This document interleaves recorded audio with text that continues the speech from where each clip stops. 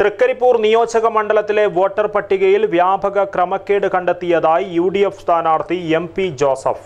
സംഭവവുമായി ബന്ധപ്പെട്ട ജില്ലാ കലക്ടർക്ക് പരാതി നൽകിയതായും എം പി ജോസഫ് കാഞ്ഞങ്ങാട്ട് വാർത്താ സമ്മേളനത്തിൽ പറഞ്ഞു. Bhima jewellery press club junction Kasaragod. മാതൃകാ കണക്കെടുപ്പിൽ തന്നെ ആയിരത്തി അൻപത്തിമൂന്ന് വോട്ടുകളുടെ ക്രമക്കേട് കണ്ടെത്തിയിട്ടുണ്ട്.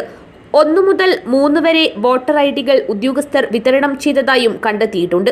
ഇത്തരത്തിൽ എഴുപത്തിരണ്ട് ബൂത്തുകളിലാണ് ഇരട്ട വോട്ടുകളും വ്യാജ വോട്ടുകളും ഉള്ളത്.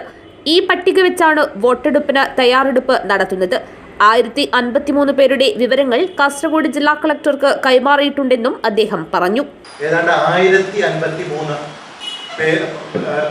കേസുകളിൽ ഒരേ വ്യക്തി ഒരേ പേരിലുള്ള വ്യക്തി ഒരേ ഫോട്ടോയിലുള്ള വ്യക്തി ഒന്നിൽ കൂടുതൽ ആ പേരിൽ ഒന്നിൽ കൂടുതൽ വോട്ടർ ഐഡന്റിഫിക്കേഷൻ കാർഡ് ആ പേരിൽ നൽകിയിട്ടുണ്ട് എന്ന് മനസ്സിലാക്കാൻ കഴിയും.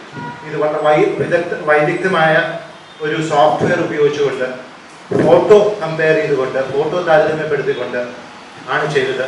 അതുകൊണ്ട് ഇതിനകത്ത് വീഴ്ചകൾ വരാനായിട്ടുള്ള സാധ്യത വളരെ വിരളമാണ്. എഴുപത്തിരണ്ട് ബൂത്തുകളിൽ മൈക്രോ ഒബ്സർവർമാരെ നിയമിക്കുവാനും ഓരോ ബൂത്തിലും ആറു പേരടങ്ങുന്ന പാരാമിലിറ്ററി ഫോഴ്സിനെ നിയമിക്കണമെന്നും കളക്ടറോട് ആവശ്യപ്പെട്ടിട്ടുണ്ട്.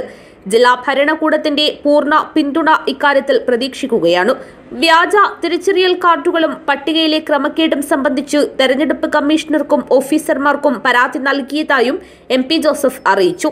യു മണ്ഡലം തെരഞ്ഞെടുപ്പ് general convener K Sreedharan master Kerala Congress ജില്ലാ president Jetto Joseph advocate E M Soju എന്നിവർ വാർത്താസമ്മേളനത്തിൽ സംബന്ധിച്ചു.